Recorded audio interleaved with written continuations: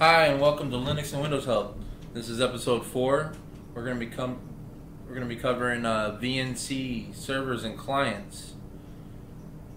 Uh, first up, I got, I got the um, we're going to be using the virtual machine this time, which is not a really good idea to be doing virtual machines with uh, VNC. If you've ever like been between two mirrors, like a mirror in front of you, a mirror in back of you, you, you know, you go into a parallel universe, you can see for miles through like uh, reflecting off of each mirror over and over again.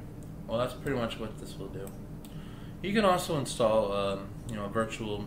Uh, you can also install a, a, VNC server and a VNC client in uh, Windows and stuff. You can use Windows as well. We're using Linux uh, for this. But anyways, go ahead and launch your, um, your terminal in both the uh, virtual machine or if you got you know two network computers together, it'll be the same. Just go ahead and launch them both. Oh, before I before I start with this, uh, before you launch your virtual machine, uh, see where it says network. You're gonna whenever you um, first install VirtualBox. I don't know how it is on VMware, but whenever you install VirtualBox, it comes default as NAT. You don't want that. The, com the, computers won't communicate together. The virtual machine and the computer won't communicate right. You want to go to bridge adapter, you want to make sure that one's selected right there. And then OK. Before you even boot your, before you boot it. And you, you're probably going to want to keep it like that most of the time because your computers will communicate better and everything. So you, just want to keep it like that, probably. Unless you want that uh, the other thing. Anyways, uh, with the NAT, you basically can go to websites, and that's about it. Uh, computers don't communicate, and you won't be able to run servers and clients. Anyways, uh, I already got it installed, but you want to install, install client.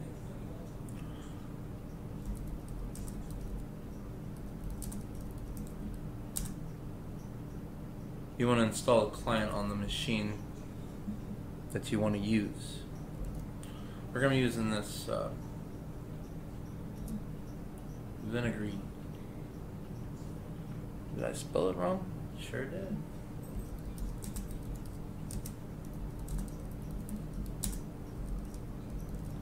Vinegary, V-I-N-A-G-R-E.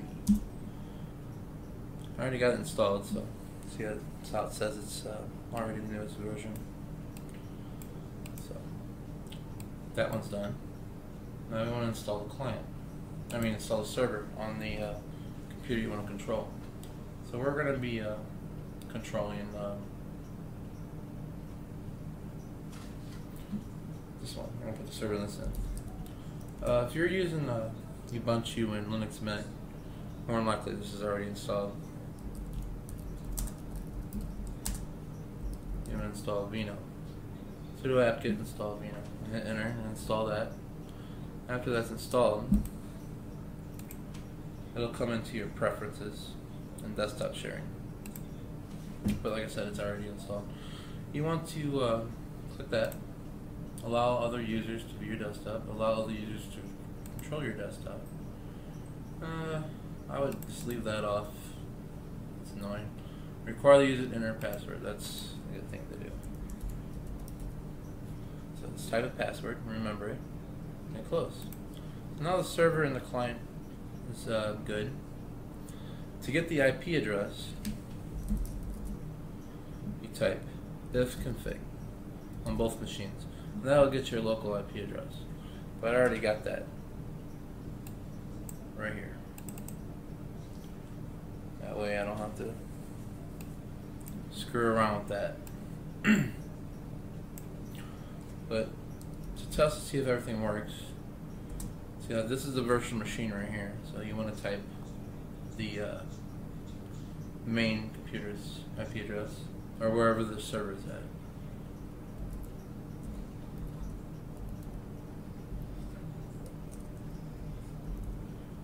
And you notice that the uh, it's communicating. If you was using that in that thing, you wouldn't be getting that right now. Go ahead and hit Control C. You'll see 0% packet loss. You can do the same on the uh, on the main machine too. You can uh, load this and ping. It's 90. Yep.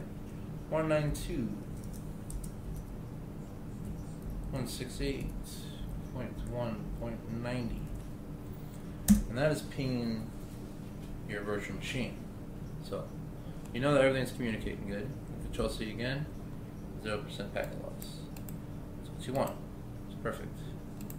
So now we're going to load the client that we installed. The server's already running. You already got it set up. So you just type, make sure I spell it this time right, Vinegary. I don't know if I'm pronouncing it right, but I got it spelled right. That's the important.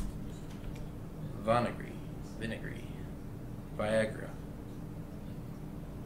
Yeah, Viagra. So you load it and you hit connect.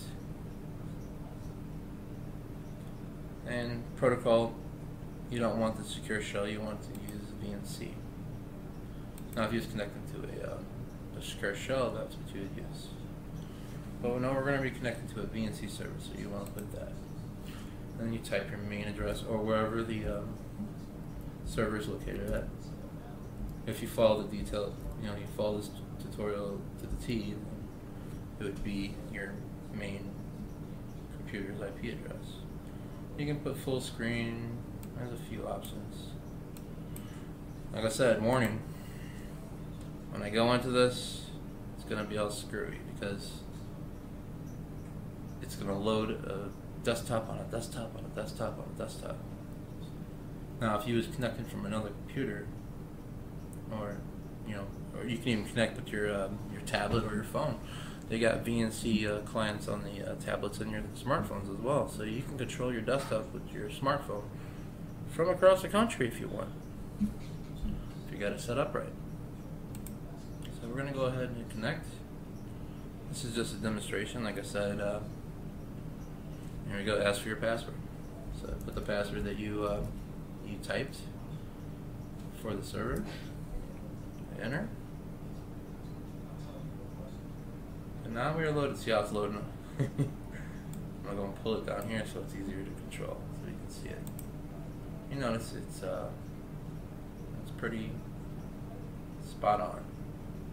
There's a little lag sometimes. It's probably just my computer. Like, you know, got enough. Um, I only put 34 megabytes of uh, video on this on this uh, virtual machine. That could be a reason too.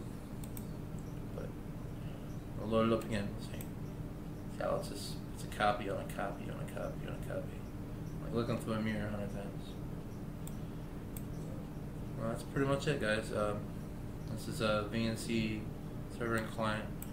So you can connect with your uh, cell phone, you connect with your tablet, you can connect in the other room, you can connect across the country. If the network is set up right, you can connect from the moon if you wanted to. It'll just be a little bit of latency problem. That's it, that's VNC server and client. You put the server on the uh, computer that you want to control, and you connect with the client from the uh, computer or device that you want to control the computer with. And the other computer don't even have to have a monitor or nothing. You could just be a desktop computer with an internet connection and be on, and you can control that computer from wherever you want. Doesn't have to have a monitor on at all. So the good thing about this is like if you run a network, say you have 100 computers, a 100 computer network, you can log into each desktop from one computer. You don't have to uh, you don't have to like walk over to each computer and do something. You just log into it. While the other people are still using the computer, you can just take over for a minute. You can even talk to them. You know, you can just right click on document, empty file. Let's go ahead and load it. And you'll be like, Hi Bob. I am going to be doing maintenance work on your system today. So you can talk to them and they'd be like, Okay, he's hacking my computer now. What are you doing? What are you doing to me? Oh, I'm sorry. I'm I'm drinking beer right now, so I'm not um, completely 100% sane right now. So I'm, I'm drinking some Busch Light. It's a man's beer right there. Might not like it, but I do. I don't want to say that. Anyways, that's uh, the end of this episode. I'm gonna go and shut down this uh, virtual machine. Please, delete that too. Please uh, share this video, like it, join the group, join the page, send me a million dollars. I don't have to ever work again. That'd be nice. Alrighty. The video is now over. Thank you for watching.